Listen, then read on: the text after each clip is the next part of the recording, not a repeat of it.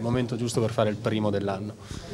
Beh, non so se è il momento giusto, però, però sono contento, sono contento perché era veramente importante oggi contro una diretta concorrente dopo tanti, tanti risultati un po', un po negativi oggi era, dovevamo vincere. Per fortuna è arrivata dopo, dopo un'altra un'ennesima sofferenza, però finalmente siamo riusciti a portare a casa i tre punti.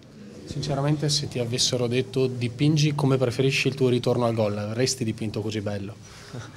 No, no, no, forse no. Nei, nei, sogni pensi sempre alle cose più incredibili. È normale far gol agli ultimi secondi eh, è bellissimo perché sai che probabilmente non riescono più a recuperarti. Eh, quindi forse l'ho sognata più di una volta poter fare gol agli ultimi minuti, però così eh, un 2-1 così all'ultimo penso che è stata una, una gioia immensa. Il Bentegodi ha continuato a cantare per te anche oltre al novantesimo, ti hanno fatto finire in mutande anche.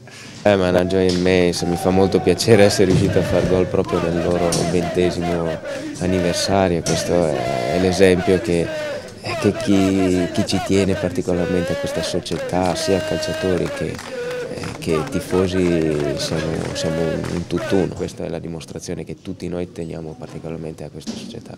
È una dedica particolare per, questo, per questi due gol? Ma è normale, la dedica vanno sempre alle persone che, che ami e che ti vogliono bene e che ti, ti hanno sempre dato l'affetto maggiore, questa è la mia famiglia, indubbiamente poi i tifosi mi sono sempre stati vicini, sono stati anche quelli che, che mi, hanno, mi hanno convinto a rimanere magari nei momenti di difficoltà mi sono sempre stati vicini e penso che quando hai la fiducia di tante persone eh, riesci sempre a dare qualcosina in più e in, nei momenti di difficoltà hai bisogno anche, anzi hai soprattutto bisogno di loro. In questa enorme gioia c'è anche una piccola percentuale di rivincita, di dire guardate, io ci sono ancora. Ma quello l'ho sempre detto, io devo assolutamente dimostrare che non sono un, un calciatore finito, io mi ritengo un, calciatore sì di una certa età ma che ha tanta voglia di dimostrare che può ancora far bene in Serie A. Eh, Quest'anno non mi sono mai fermato, ho mai saltato un allenamento, fisicamente sto bene, indubbiamente eh, bisogna avere la fiducia da parte di tutti, eh, in primis l'allenatore che ti può mandare in campo e questo eh, Maram ha dato questa fiducia e sono contento di essere riuscito a, a dimostrargli che non sono assolutamente finito. Riesci a ricordarti cosa hai pensato dopo il primo gol e mentre ti apprestavi a saltare per, per il secondo?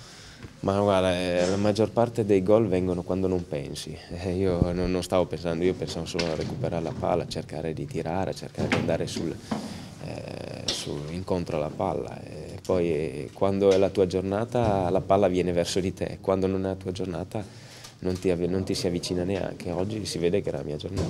Dove lo metti in, nella tua vita al Chievo, nella classifica dei momenti più belli della tua vita al Chievo? Non so, dietro i tre gol di Torino, vicino a quello di Siena. Ma non, non lo so dove li, dove li, posso collocare. Indubbiamente eh, sono arrivati al momento giusto perché ho, avevo bisogno anche di questo. Eh. Io avevo bisogno di dimostrare che non sono finito, che, che ho tanta voglia di, di, di continuare a giocare e mi auguro di poter ancora dare il mio contributo e magari se, se ci può essere ancora eh, qualche occasione per, per, poter far bene. L'ultima cosa per me in questi, se non sbaglio, oltre 400 giorni senza gol, cosa è stata la cosa più bella e la cosa più brutta che hai vissuto? Beh, non so, la, la, più bella indubbiamente è che tante persone mi sono sempre state vicino e questo penso che sia molto importante quando, eh, quando hai bisogno di, di qualcuno. Eh, la più la più brutta è proprio il non far gol. Purtroppo non giocare, non far gol per una punta può diventare complicato perché tendi sempre a voler far gol a tutti i costi, tendi sempre a, a cercare l'occasione giusta e quando non ci riesci magari ti demoralizzi. I colleghi non domande ti chiediamo di anche di leggere questa frase. Beh, beh in, in, invito tutti i nostri tifosi a sostenere la ricerca sul cancro con un sms al 45503.